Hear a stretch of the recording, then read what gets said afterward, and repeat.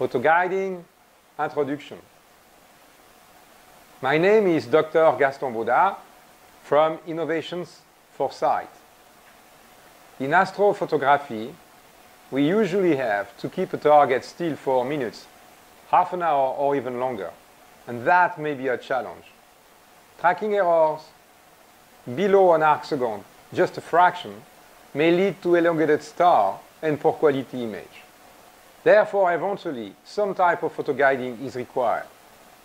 Astrophotography setup is at least a scope, some kind of imaging camera like this one, or a DSLR. This one is a specialized camera for that. And some kind of mount to support the scope for the tracking. Now, despite the quality of your equipment and your mount, eventually after a few minutes, you will have to guide. The main reasons for that are coming from a different range of possible issues. You have to keep in mind the optical axis of your telescope and all the optical train behind it, including the camera, must stay still and very accurately tracking the target. And when I say very accurate, I mean it. A fraction of an arc second translated in the mechanical world in microns. 100 to 50 microns is the thickness of a human hair. So you don't even need that to have a problem. So high-end mounts with the right software to modelize the mounts and the flexure and also the refraction of the atmosphere can provide you a few minutes without any guiding. But eventually you will have to do some type of guiding. Most of the cases you will have to guide every minute, half a minute, or sometime every few seconds. So there are different technology out there to allow you to do that. They all use a second camera, a guiding camera, or a guider. In some application, the guiding camera is inside the main camera because that camera, like this one, has two chips. One for imaging, the big chip, and one for guiding a smaller chip off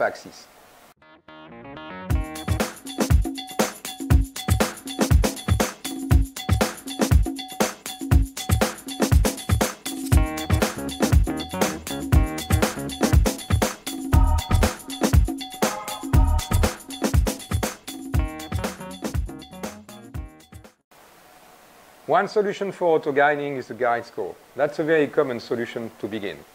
The guide scope is another scope, which is somewhere attached to the main scope. It has a guider, a guiding camera on its back like this one, small camera, and the camera will look at a guide star, sometimes more than one star. There is a software typically on a PC who's going to take the image of the guide star and process them to detect any possible motion. Centroid technology is very accurate to detect variation way below a pixel size. If there is any type of drift, then the software will send the correction information to the mount like this one through different ways, a cable or through USB, whatever it takes. Guide scopes are nice because they have shorter focal lengths than the main scope typically. If you have a scope of 2 meter focal length, 10 inch or above, this one is typically way less, somewhere like a half meter or less. Give you a pretty large field of view to find a guide star. However, there are some drawbacks with guide scope. The main one is a guide scope is yet another scope attached to your main scope. Now you have two optical systems who must stay still all the time with a fraction of an arc second. That's translate to microns. It doesn't do any good if the image from the guider are still, but there is any differential flexure with the imaging. You will be perfectly aligned with the guide scope, yet you will have elongated star on your imager. Differential flexure is a plague for guide scope. It's very easy to get. It's a function where you are in the sky, what type of target, many things like that. So that's one of the difficulties. Another limitation of guide scope, which is not as well known as differential flexure, is the aperture. A guide star is a point source. Therefore, the light coming from a guide star is a plane wave. And the amount of energy you get at the sensor side, which translates in SNR, and limit magnitude for tracking is all about the square of the aperture. Guide scope aperture typically has way less than main scope by a factor 10 or more, meaning your guide star limit magnitude will be less with a guide scope than it could be if you would be able to use your main scope.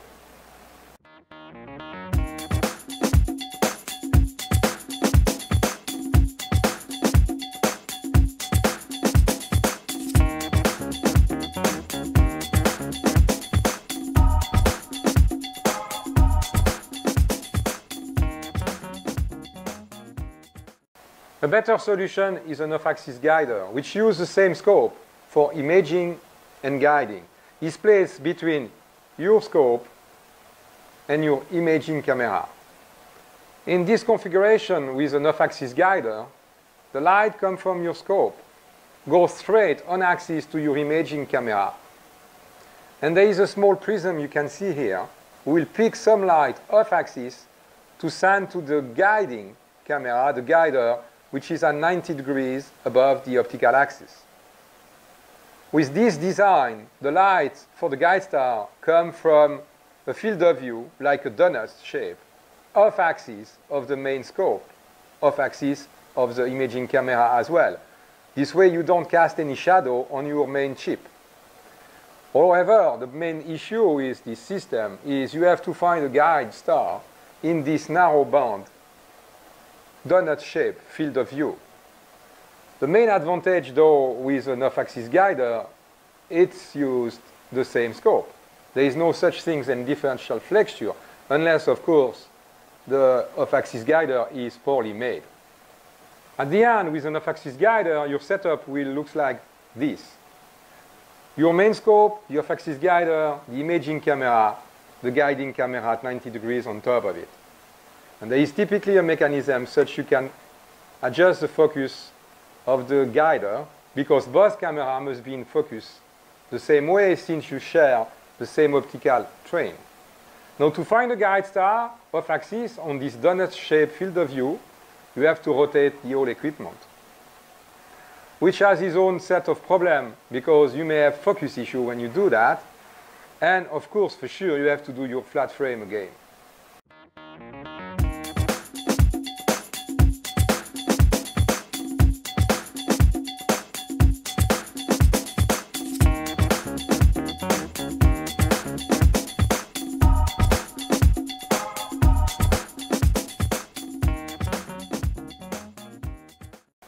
There is yet a better solution for auto-guiding. It's known as an on-axis guider, which is a patent pending technology from Innovations Foresight. The on-axis guider, or ONAG, which is a trademark, takes the light from your scope. You share the same optical system than you had with an off-axis guider, but it's a beam splitter. And the visible part of the light will be sent to your imaging camera on top and the near infrared to your guider on the back. Inside, there is a dichroic beam splitter. It doesn't split the light by energy like 50-50, but by wavelengths. From 370 to 710 nanometer, the visible light is reflected to the imaging camera on top. The on-axis guider offers interesting features. First, you use the same scope for imaging and guiding. Therefore, there is no differential flexure.